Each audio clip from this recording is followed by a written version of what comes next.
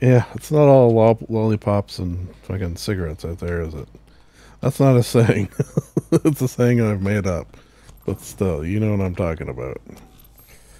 It's not all lollipops and cigarettes out there. Alright, well, clip that, I guess. And then put a question mark at the end. And then leave this part in. And then be like, what the hell? In the comments, if you are watching this. And then we'll call it a day after that. Oh, it's Lee Everett.